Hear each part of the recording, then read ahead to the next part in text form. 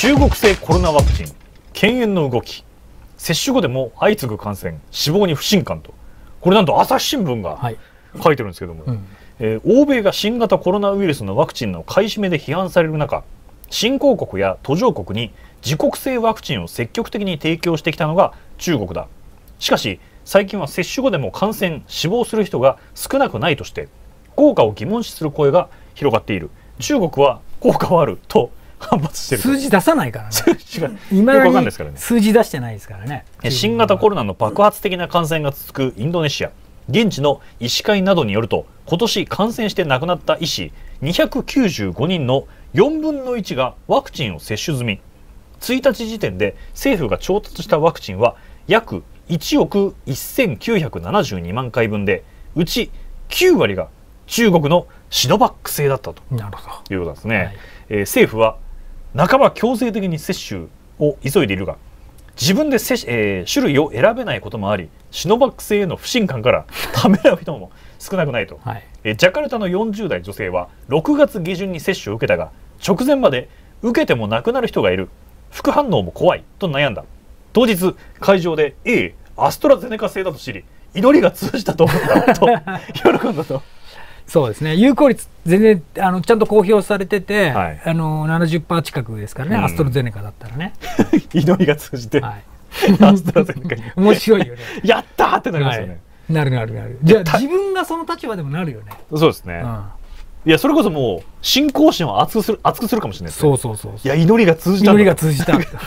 神様に通じたイスラム教の人だと思うねえー、タイ保健省も12日、うん、主力のシノバック製を1回接種した市民や2回接種した医療従事者の次の接種にアストラゼネカ製などを使う方針を打ち出したと、うんはい、でも3回目の接種でもうちょっとまあブレンドになっちゃいますけれども、はいね。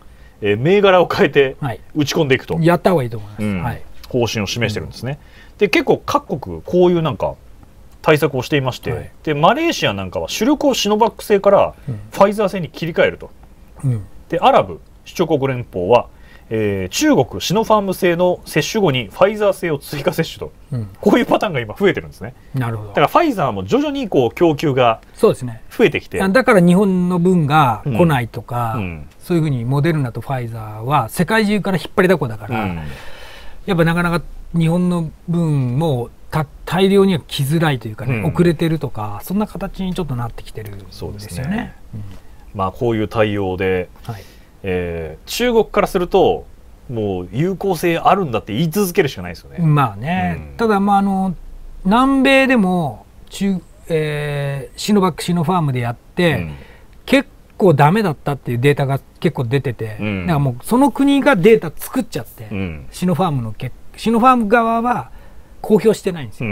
ところがその国ごとにやっぱ有効率が低いとい。うのが結構出ちゃってんで、なんかあのワクチンパスポートとかこれから出るんだけども、うんはい、あのシノファームはちょっとダメだよねとかシノそうですね。そうシノバックダメだよねとかにしないと、ちょっと公平感がないよね。でその話題がちょっと最後にあるんですけど、はいはい、これ毎日新聞が書いてるんですが、うん、対象国の拡大中国製ワクチンワクチンパスポート課題山積みというものですね、うんはい、えー、新型コロナウイルスのワクチン接種に接種を公的に証明するワクチンパスポートの申請受付が全国の市町村で始まったと、えー、渡航先、えー、海外渡航先で、えー、入国時に提示提示すれば隔離措置が免除されるということなので、うん、まあ、はい、ビジネス経済界から、うん、まあ、結構求める声が多かったということなんですけども、対象国まだ7か国しかないんですね、うん、えイタリアオーストラリアあオーストリアですね、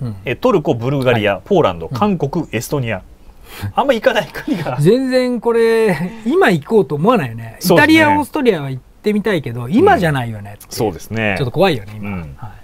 え韓国で隔離免除を受けるには他の書類も必要でエストニアはもともと隔離措置を取っていないとい。う国だったと、はいえ州ごとにワクチンパスポートへの対応が異なる米国は慎重で日本政府内でも当初国際的に必要な流れに本当になるのかと会議論も漏れていた、うん、だが EU などでえー、導入が決まると経済界からは鎖国状態のままでは遅れを取ると訴える声が、えー、一層強まったと、はい、えー、今後の大きな課題は対象国の拡大だ、うん、っていうことなんですけどこれやっぱりその相互にやらないとなかなか認められないですよね。日本人は行くけれども、うん。お前らの国ダメねとか、はいだったらまあ、認められるわけがないので,、でそうなると、えーまあ、ちょっと交渉が、はい。まあ、なかなか難しくなるのかなというのもありますしでちょっとタイトルにもありましたけど、うん中国製のワクチンはどうなんだと。はいそう中国製のワクチンを打ったはい。中国人の方が、うん。まあ、向こうのワクチンパスポートを得て、うん。はい。日本に来るのはアウトでしょ。ちょっと、全くダメでしょ。うん、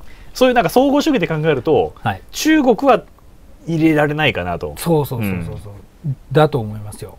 だってちょっと今回、うん。えー、と東京五輪に来てる選手団とかでも、はい。コロナにかかった人出るんだけど、うん。それ全部その何のワクチンだったか公表してほしいよね。あああの選手の85%はワクチン打ってきてるはずなんですよ、うん。だからほとんどワクチン打ってきてるんですよ。じゃあその1回目接種なのか2回ちゃんと打ったのか、うん。それかそのシノバックだったのかとか、それをちょっとこうあの提示してほしいなと。そうしたら分かるなと、アフリカ勢とか、うん。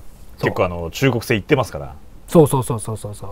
だから中国アフリカ系の人は結構かかってるじゃない、うん。だから。あとまあこれで中国選手団がかかり始めてきたらやっぱシノバックダメだなっていうことになるだろうね。相当気遣ってると思うけどねそこだけはもう、は。いなかったことにするんじゃない。なかったことですなかったことかかってないと、いやとりあえず、うん。個人的には、はい。ハワイとうん、オーストラリアだけ行かしてくれっていう。そう。そうですよ。もうハワイはもう州ではい。州でこの総合そうそうそうそうそう、えー往来を。そもう可能にしてい。ただきたいなうと、ニューサウスウェールズだけでいいよ。あのシドニーがそうそうそうそう。そうもうそこだけでいいよね。本当もうあのダーウィンとか行かないからさ、うん、これもうちょっと、はい。オーストラリアの人とかに怒られるかもしれないですけど、はい。